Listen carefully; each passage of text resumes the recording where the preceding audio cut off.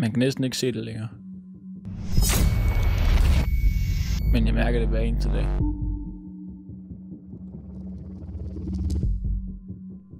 På de dårlige dage, der kan jeg ikke rigtig gå på foden. Øh, på de gode dage, der tænker jeg ikke så meget over det.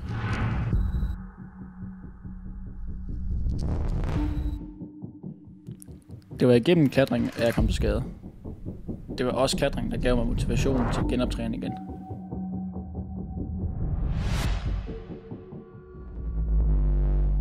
Før jeg kom til skade, der var jeg rigtig god til heel hooks. Men øh, nu er det en af de ting, som jeg har sværest ved.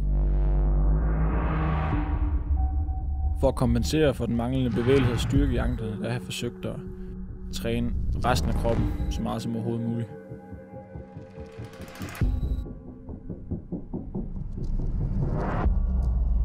Da jeg fandt ud af, at jeg stadigvæk kunne skubbe nogle af mine grænser og fortsat blive endnu dygtigere til at klatre, der gav det mig ekstra motivation til at blive ved.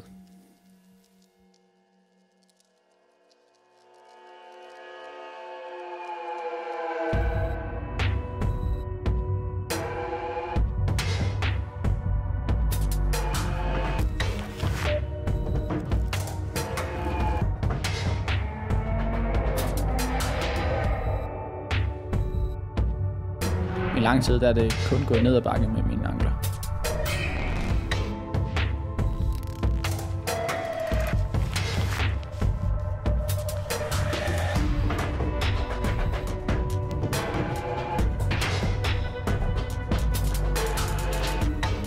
Nu går det endelig fremad igen. Langsomt, men sikkert. Det har givet mig en kæmpe motivation til at tage på tur igen og jagte nogle af mine drømme.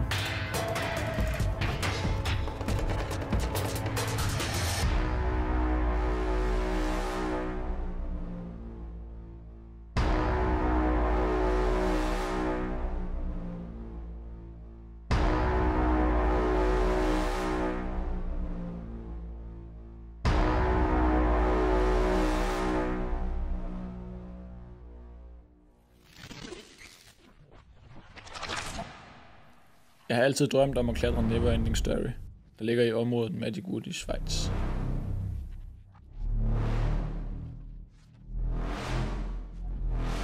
Så da jeg fik muligheden for at tage til Magic Wood med en af verdens bedste bowler, tænkte jeg bare, fuck det, skal det være, så skal det være nu.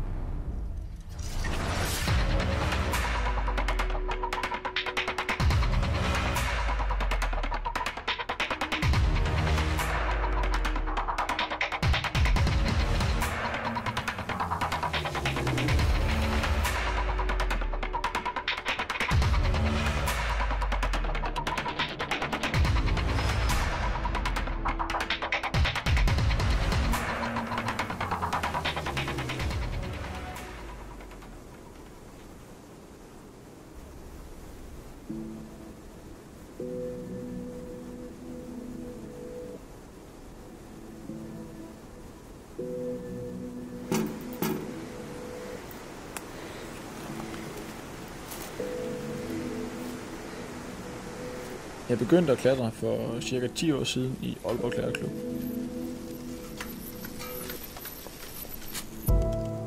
Måden man bevæger sig på og træner i klatring faldt mig meget naturligt. Desuden tror jeg, at jeg altid har været meget arbejdsom med de ting, som motiverer og interesserer mig. Så motivationen for at blive en bedre klatrer har aldrig nogensinde været et problem for mig.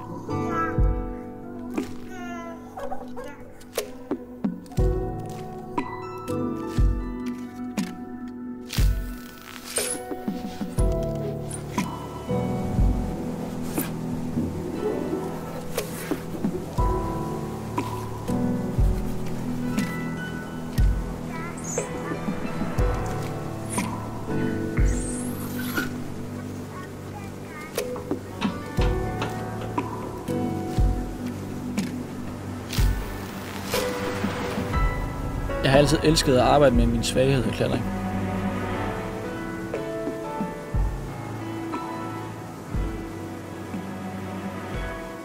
Jeg tror også, at det er en af grundene til, at jeg stadig har lyst til at prøve at skubbe min grænse i klatring. Selvom det ofte er svært på grund af min skade.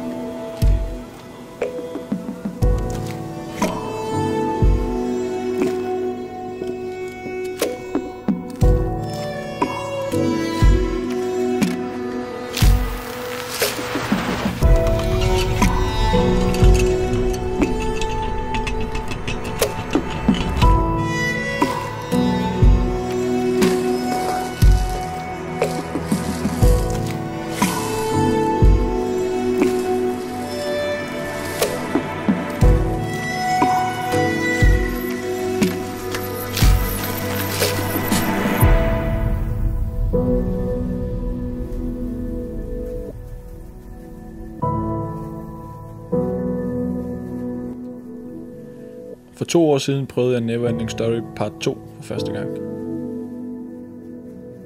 Det var det hårdeste boulderproblem, jeg havde lavet efter min ulykke. Og jeg sagde til mig selv, at hvis jeg nogensinde blev dygtig nok til at klatre 8B+, så skulle den fulde linje være den første. Derudover så ville det også være den hårdeste boulder, jeg har lavet, hvis det lykkes.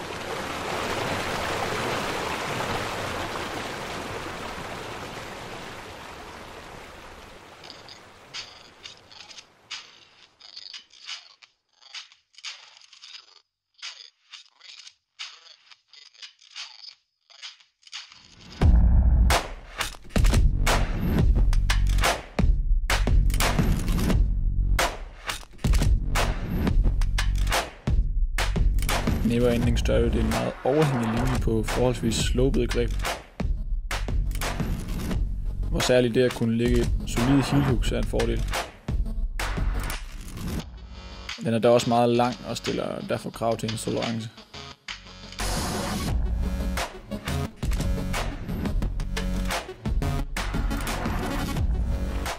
For mig er linjen en kombination af både mine styrker og svagheder.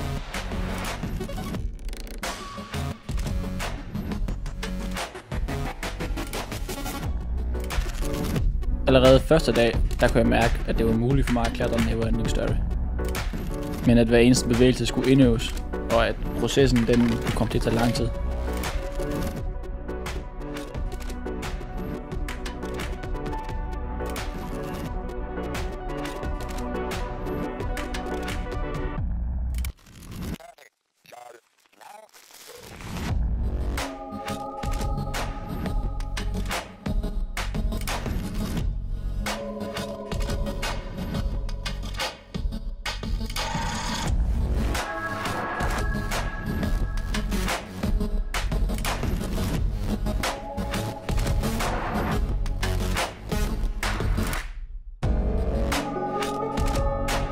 Processen gik hurtigere, end jeg havde forventet, men mentalt der var det stadig en stor mundfuld.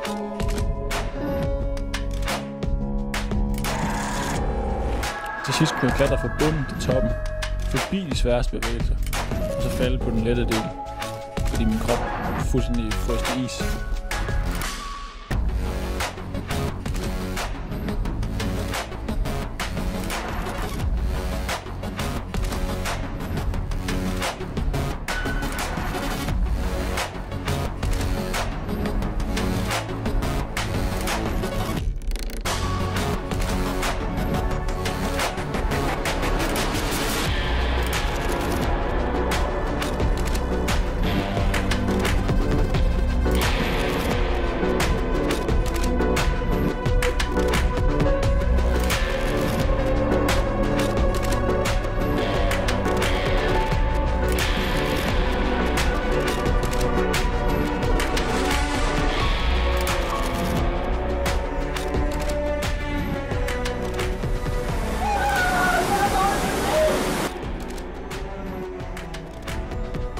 Efter jeg flere gange i træk var faldet i topbevægelserne, så begyndte jeg at tvivle på, om jeg kunne lukke linjen på den her tur. Det mentale spil i klatring, det er mindst lige så vigtigt som det fysiske. Og det var særligt den del, som var udfordring for mig.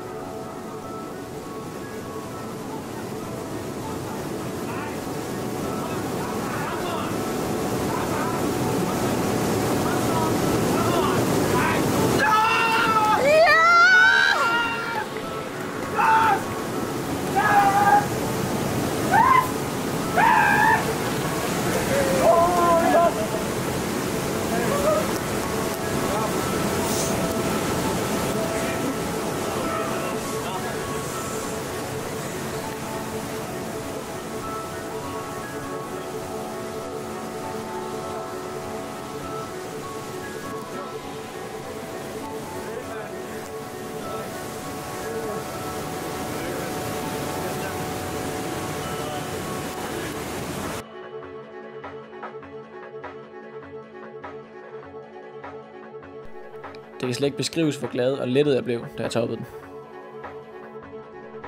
Det har helt klart givet mig blod på tanden til at blive ved med at prøve at skubbe min grænse.